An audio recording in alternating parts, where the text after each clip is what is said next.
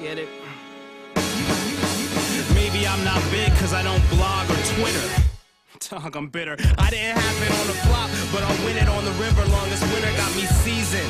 Now I'm a non-beginner, meaning not yet a veteran, but never. Yo, what's up? This is Syd Woodward for Grounded TV. Now, this week's episode is brought to you in part by Color Magazine, who we teamed up with for our interview with Ricky Powell. Also, big thanks to Natasha Lands for all the help in this episode. Now, check it out.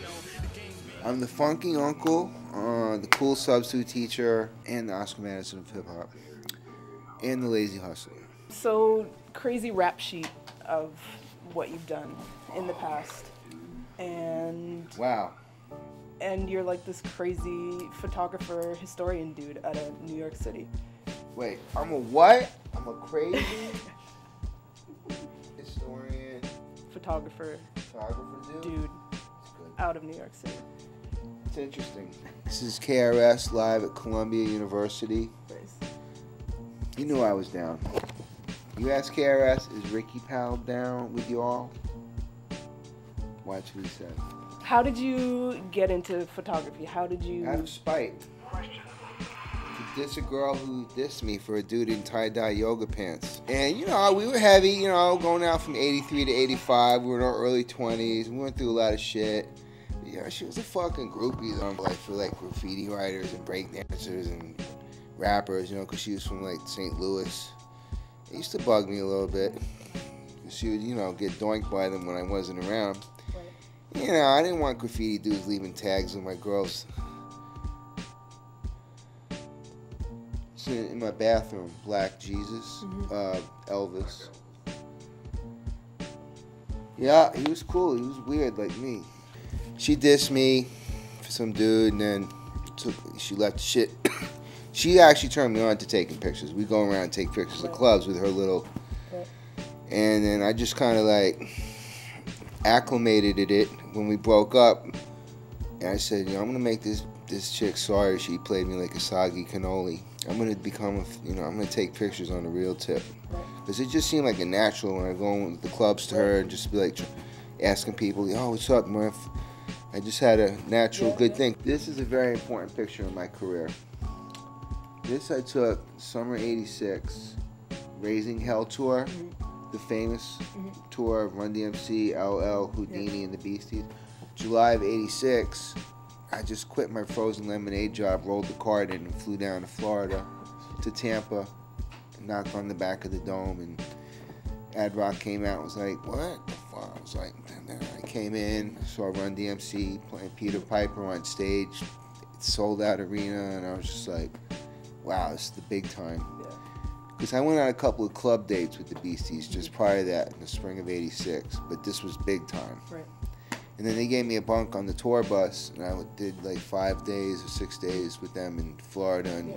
New Orleans. So this is in New Orleans side of stage with Run. Adidas, my Adidas was just the song out, and they had this just shows the, you know, forget it. When they walk through the French Quarter, Run DMC, and the ridiculous, dude. The whole city was like a bunch, just mob walking along with them, Right. like a Muhammad Ali yeah status. yeah Oh, see, see, yeah oh, shit. This was like an old lady drove this '68 Mustang in, in the country somewhere. I just came out of this general store. So I was camping with my girl in like '99, and then this little old lady drives up in a '67 with a Mustang and Louis Vuitton shit. I was just like, what the fuck?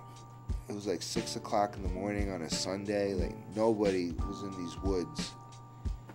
Bugged. Luckily, I had my camera. Took like 20 different shots, different angles, but love it. That's dope. And my plum pumas around.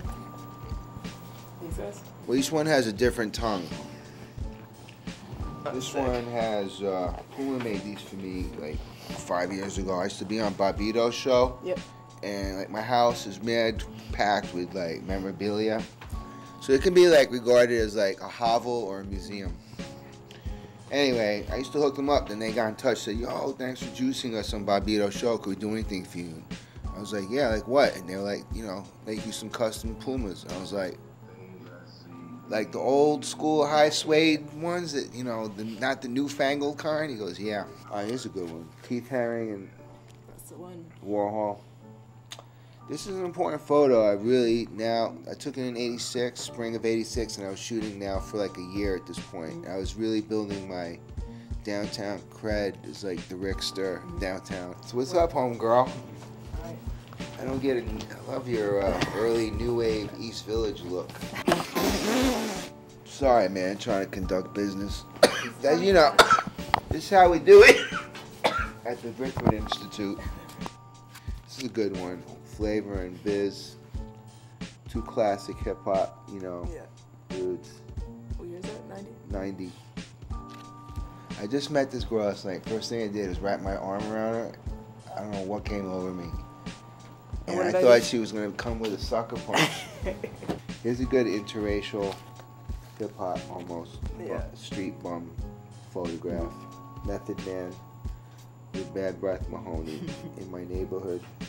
That was for like Ego Trip, which never materialized, but I got a great shot. Love it that it's in black and Yeah. white, and it's it's just I love it. Yeah, I love it.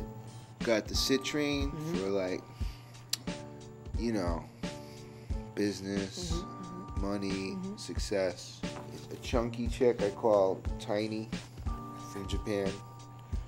At that park where they hang out and get goth shit. A lot of dirty old men hanging out.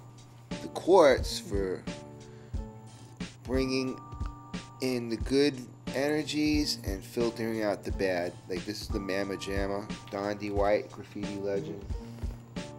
Class act, rest in peace. And then we got the amethyst for I think, you know, good energy somehow. I forgot specifics, but I carry those, you know.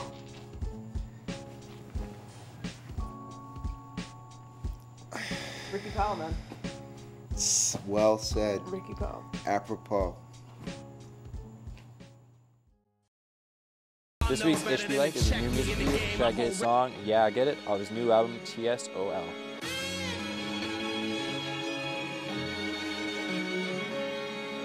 Get it. Maybe I'm not big cause I don't blog or Twitter.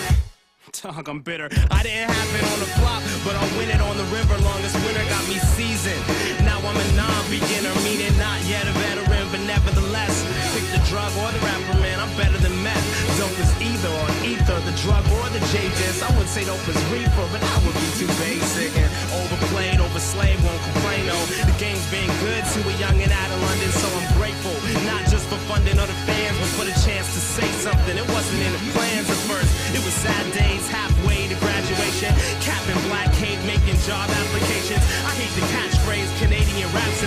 Shad K don't have big as the Appalachians. But since the label put me out like ashtrays smoke cats, I have gained some accolades and admiration. Grown since then. Though that second album there was so old school, folks called it old Prince then. I'm still penny pinching, it was so fine. My billfold holds still is pigskin when it's field goal time. Now, that being said, it's still 09, and I still got a line of credit. Still 09, but they charge no interest. So That's that. Done being grounded. Peace. There ain't no fun, I'm fine. I hope I ain't boring y'all rapping about rap. But the only thing I love more than rapping is napping.